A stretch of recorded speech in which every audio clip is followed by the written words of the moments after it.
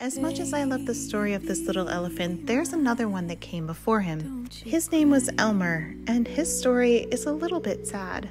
Mostly because everybody made fun of him, so much so that he felt he had to hide who he really was. But luckily, by the end of the story, the thing that they made fun of him for is the thing that saves the day.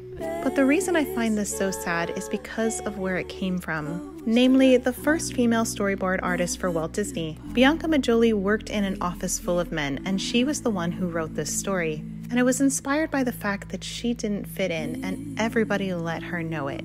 Because she was the only woman in the office, they would catcall her or do pranks or basically just look for any weakness they could find. There wasn't much that Bianca could do about her own situation, but she did use the story to inspire others. This is why we have to remember that the ugly things people say to us are just a reflection of their own insecurities. And the words they're using to push you down are only going to lift you up and up.